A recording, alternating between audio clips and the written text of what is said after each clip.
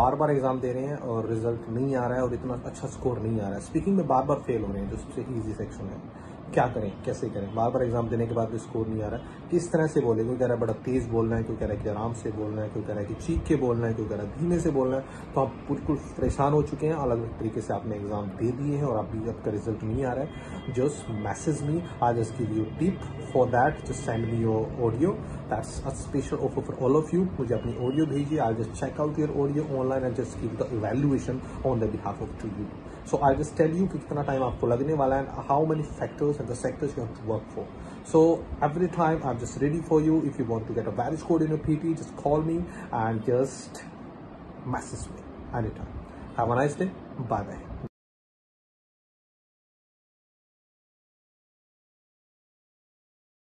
For many years, the favorite horror story about abrupt climate change was that a shift in ocean currents could radically cool Europe's climate. These currents, called the overturning circulation, bring warm water and warm temperatures north from the equator to Europe. Susan Lozier, an oceanographer at Duke University, says scientists have long worried that this ocean circulation could be disrupted.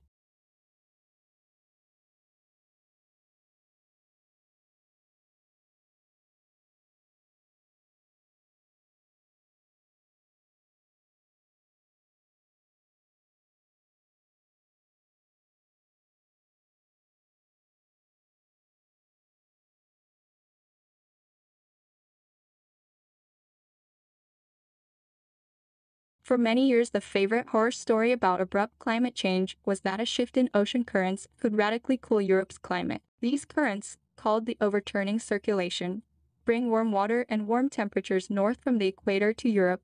Susan Lozier, an oceanographer at Duke University, says scientists have long worried that this ocean circulation could be disrupted.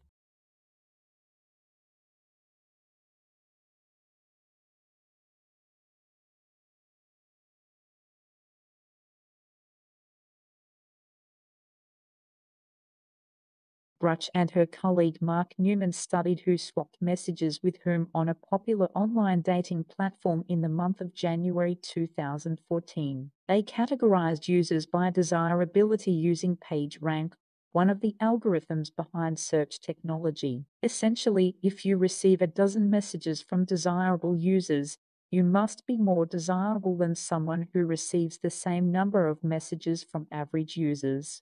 Then they asked, how far out of their league do online daters tend to go when pursuing a partner? I think people are optimistic realists. In other words, they found that both men and women tended to pursue mates just 25% more desirable than themselves. So they're being optimistic, but they're also taking into account their own relative position within this overall desirability hierarchy. All the graphs and charts are in the journal Science Advances, and the study did have a few more lessons for people on the market. I think one of the take home messages from this study is that women could probably afford to be more aspirational in their mate pursuit.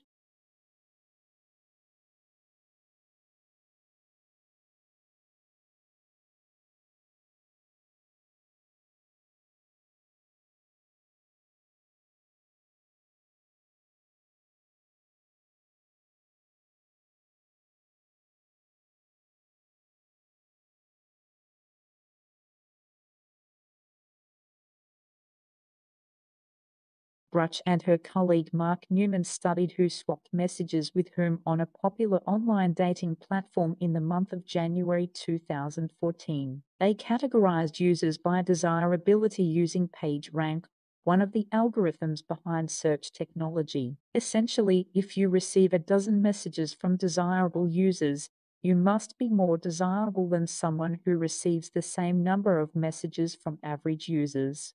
Then they asked, how far out of their league do online daters tend to go when pursuing a partner?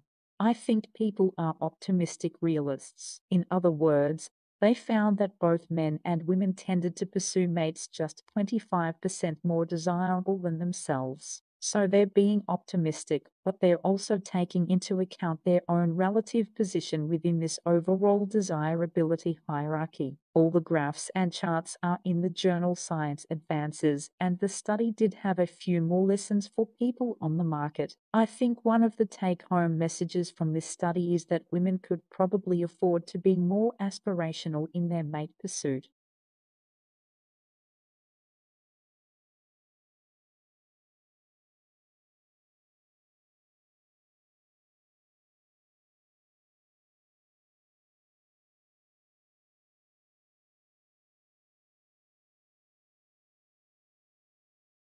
I think it's often underestimated the connection between doing research, live research, and teaching undergraduates and the undergraduate programs.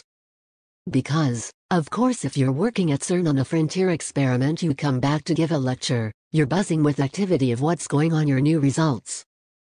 It just makes the whole lecture much more interesting for students. It's always really exciting to look ahead at new science and what might happen in the future. I must say, lots depends on what we find in the next few years at the start of the Large Hadron Collider. We are expecting to find very many new phenomena. So the thing we'll want to be building in 10 years' time will depend on what we find.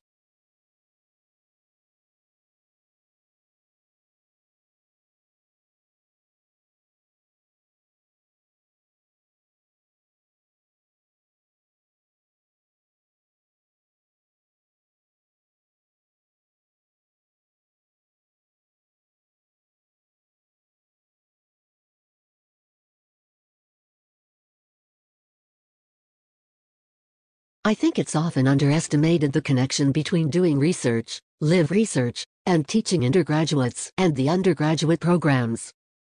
Because, of course if you're working at CERN on a frontier experiment you come back to give a lecture, you're buzzing with activity of what's going on your new results.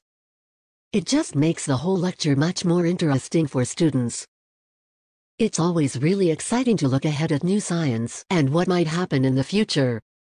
I must say, lots depends on what we find in the next few years at the start of the Large Hadron Collider. We are expecting to find very many new phenomena. So the thing we'll want to be building in 10 years' time will depend on what we find.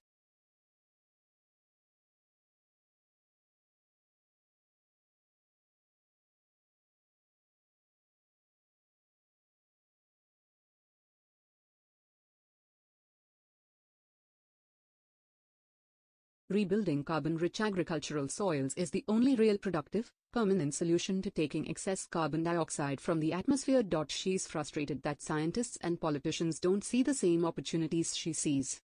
This year Australia will emit just over 600 million tons of carbon. We can sequester 685 million tons of carbon by increasing soil carbon by half a percent on only 2% of the farms. If we increased it on all of the farms, we could sequester the whole world's emissions of carbon.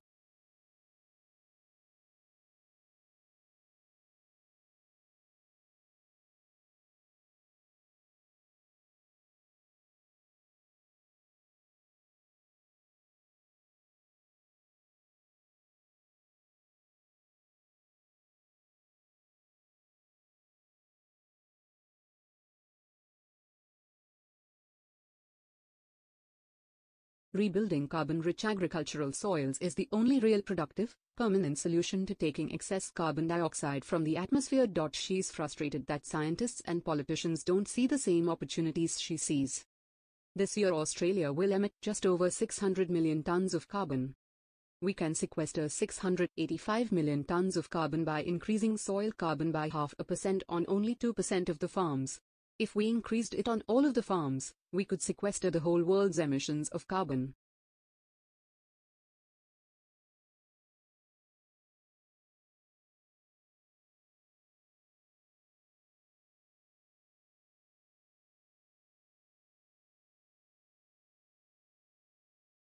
The effect of the first difference is, on the one hand, to refine and enlarge the public views, by passing them through the medium of a chosen body of citizens, whose wisdom may best discern the true interest of their country, and whose patriotism and love of justice will be least likely to sacrifice it to temporary or partial considerations.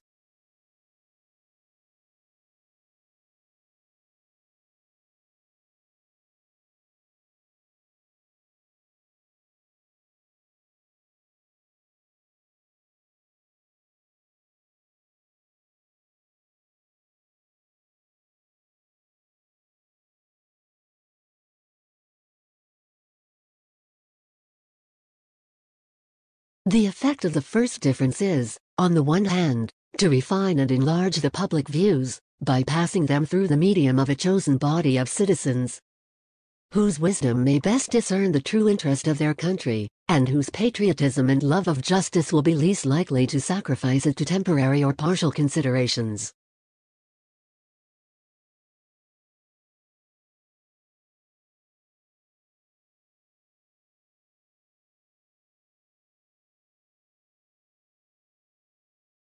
Okay, see, the thing is that I've had a look at the peer reviews about the funding application, which you suggested that I do. But what I found is that several reviewers are saying that there isn't actually sufficient focus on my topic. Right. I think that is actually the case, but I remember that the proposal is based around things that have already been done. And the fact that it's just one of a number of factors, and these affect health and safety. I think areas around of stress, they cover up much more ground. So I think if you're sort of upfront about it, and you say, look, I need a wider spectrum here. We could perhaps suggest something else to try and measure bullying in the workplace.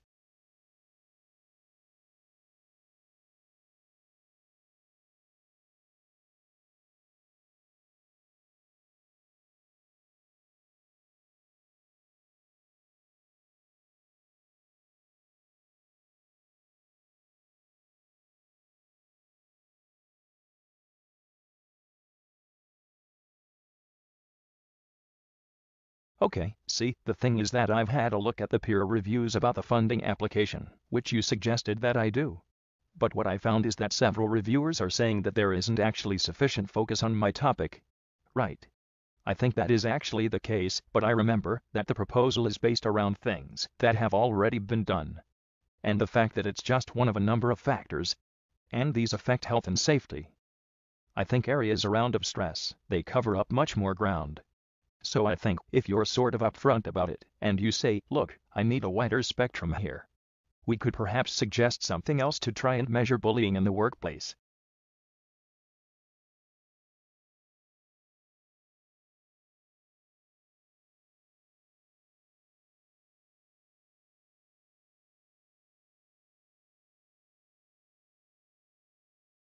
Help us understand what entrepreneurship means to you. Is it just about starting companies? Not at all, Dina. I think, for me, entrepreneurship is about transforming things by initiating by taking new ideas, by seeing them from concept into practice, so that the impact of the idea is larger than it would be. Let's say, if you just wrote a publication about it. So, I think it's finding creative ways to solve problems, to do new things, and I think that's what it's about. So, I think entrepreneurship can happen inside universities. I think we try to think of ourselves as an entrepreneurial university. We take risks, we try new things, and I think that's an important asset for anyone who wants to lead an organization or lead change.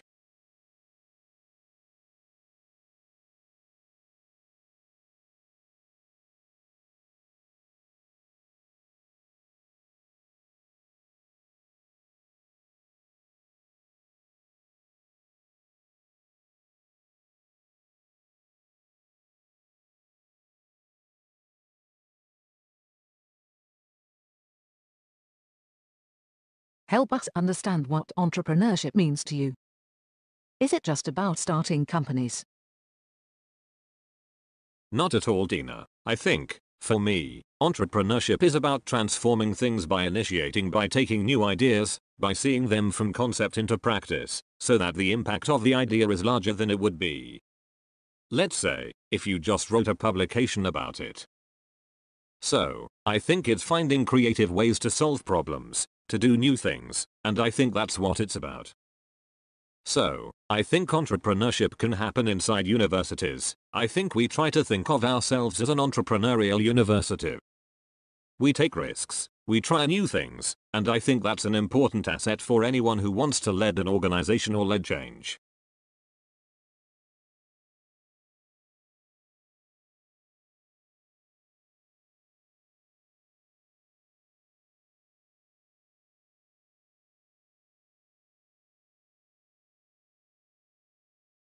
Now we come right out of the woods. Transpiration is the passive process by which water moves from the wetness of the soil up a plant and into the air via the leaves.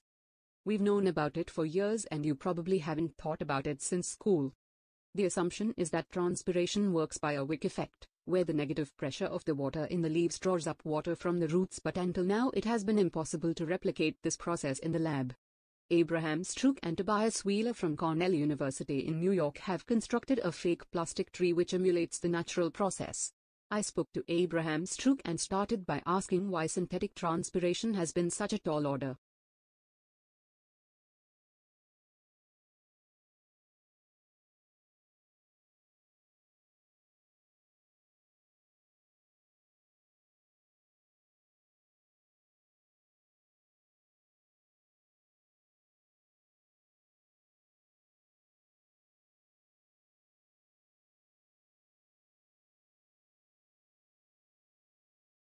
Now we come right out of the woods. Transpiration is the passive process by which water moves from the wetness of the soil up a plant and into the air via the leaves. We've known about it for years and you probably haven't thought about it since school. The assumption is that transpiration works by a wick effect, where the negative pressure of the water in the leaves draws up water from the roots but until now it has been impossible to replicate this process in the lab.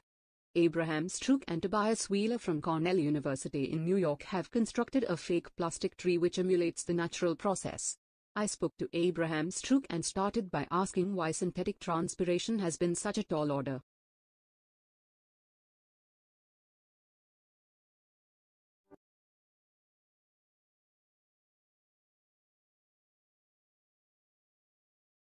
A majority of U.S. high school students say they get bored in class every day, and more than one out of five has considered dropping out, according to a survey released Wednesday. The survey of 81,000 students in 26 states found two-thirds of high school students complain of boredom.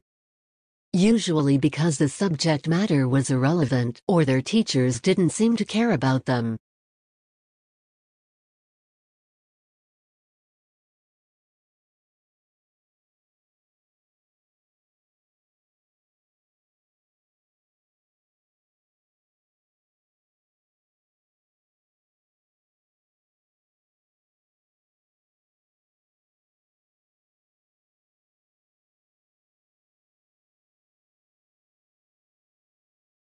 A majority of U.S. high school students say they get bored in class every day, and more than one out of five has considered dropping out, according to a survey released Wednesday.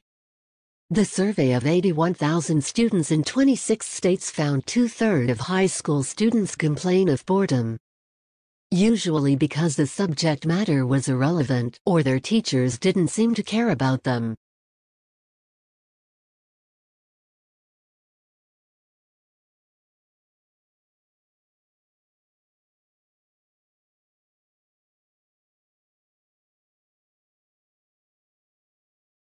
Well in 2004 we integrated ticketing in southeast Queensland, so we introduced a paper ticket that allowed you to travel access all the three modes in southeast Queensland, so bus, train and ferry.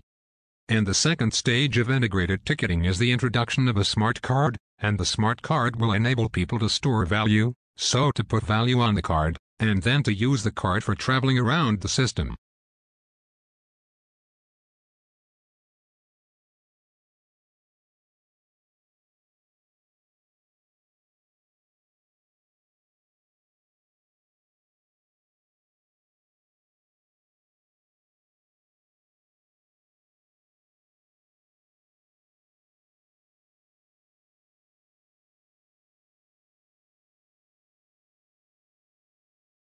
Well in 2004 we integrated ticketing in southeast Queensland, so we introduced a paper ticket that allowed you to travel access all the three modes in southeast Queensland, so bus, train and ferry.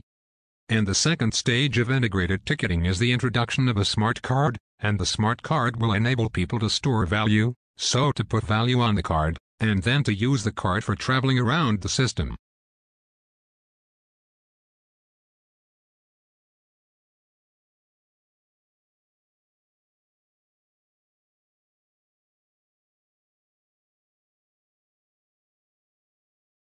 Well, Alex, the National Association of Realtors is at least putting the champagne on ice. The industry group says the slight rise in sales for previously owned homes shows the housing market is finally stabilizing, which is the first sign of a recovery. Now, that of course is an interpretation of the numbers, Alex, and one that's coming from an organization known for being somewhat of a cheerleader for the housing market. Since its members are made up of realtors who've been losing a lot of money in the slump. Now, for a more sober view, I talked to Wellesley housing economist Karl Case and he says the slight uptick in sales hardly offsets the fact that numbers are down 20% from the year before.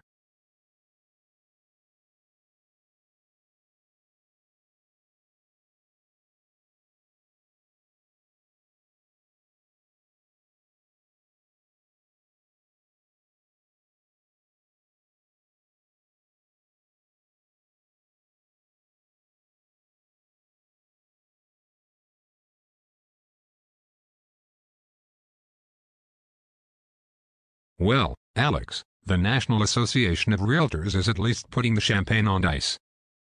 The industry group says the slight rise in sales for previously owned homes shows the housing market is finally stabilizing, which is the first sign of a recovery. Now, that of course is an interpretation of the numbers, Alex, and one that's coming from an organization known for being somewhat of a cheerleader for the housing market. Since its members are made up of realtors who've been losing a lot of money in the slump. Now, for a more sober view, I talked to Wellesley housing economist Karl Case. And he says the slight uptick in sales hardly offsets the fact that numbers are down 20% from the year before.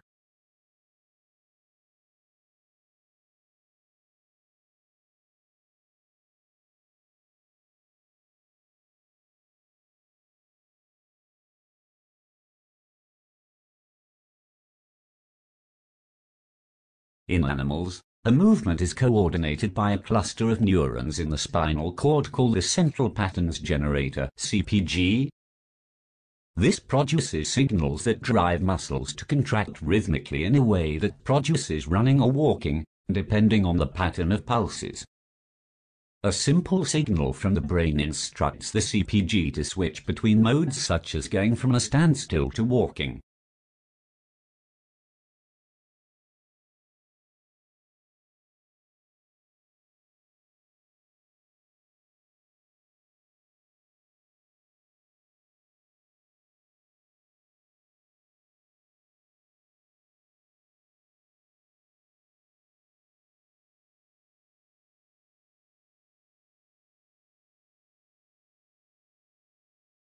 In animals, a movement is coordinated by a cluster of neurons in the spinal cord called the central patterns generator CPG.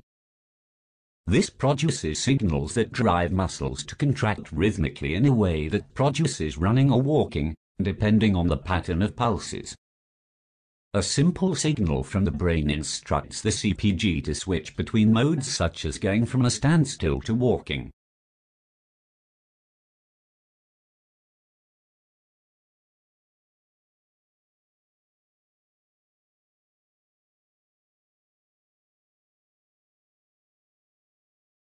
I'm a big fan of gap years.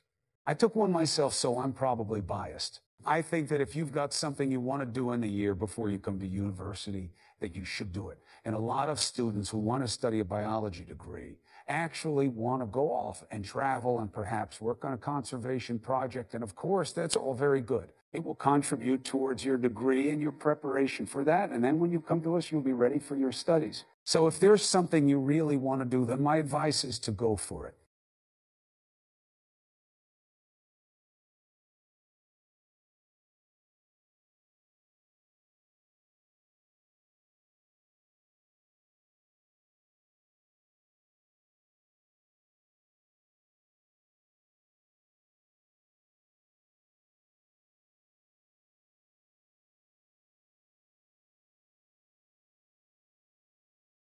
I'm a big fan of gap years. I took one myself, so I'm probably biased. I think that if you've got something you want to do in the year before you come to university, that you should do it. And a lot of students who want to study a biology degree actually want to go off and travel and perhaps work on a conservation project. And of course, that's all very good. It will contribute towards your degree and your preparation for that. And then when you come to us, you'll be ready for your studies. So if there's something you really want to do, then my advice is to go for it.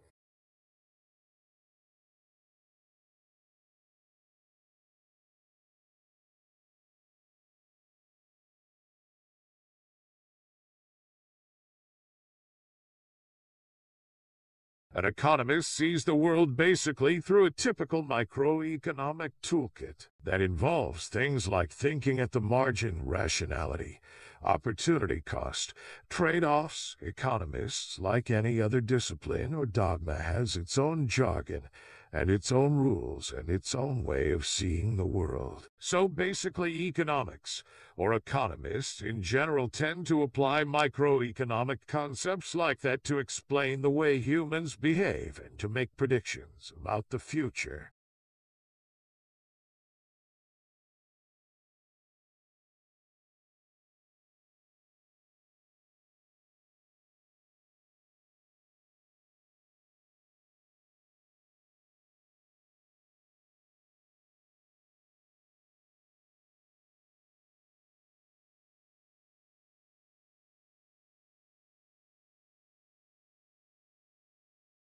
An economist sees the world basically through a typical microeconomic toolkit that involves things like thinking at the margin rationality, opportunity cost, trade-offs. Economists, like any other discipline or dogma, has its own jargon and its own rules and its own way of seeing the world. So basically economics, or economists in general tend to apply microeconomic concepts like that to explain the way humans behave and to make predictions about the future.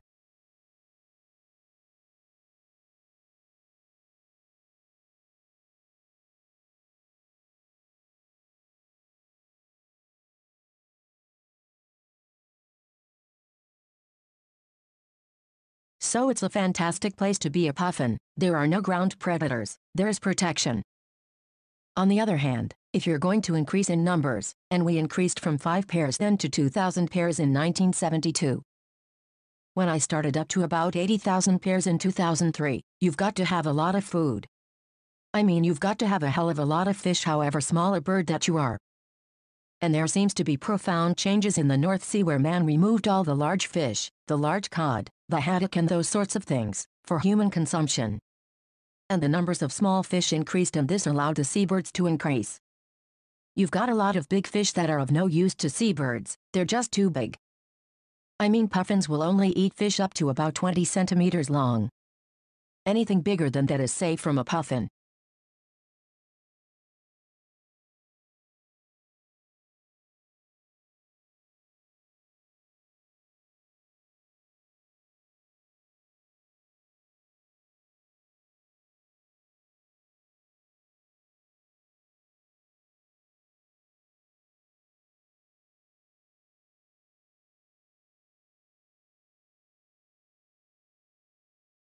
So it's a fantastic place to be a puffin. There are no ground predators. There's protection. On the other hand, if you're going to increase in numbers, and we increased from 5 pairs then to 2,000 pairs in 1972. When I started up to about 80,000 pairs in 2003, you've got to have a lot of food. I mean you've got to have a hell of a lot of fish however small a bird that you are. And there seems to be profound changes in the North Sea where man removed all the large fish, the large cod, the haddock and those sorts of things, for human consumption. And the numbers of small fish increased and this allowed the seabirds to increase. You've got a lot of big fish that are of no use to seabirds, they're just too big. I mean puffins will only eat fish up to about 20 centimeters long. Anything bigger than that is safe from a puffin.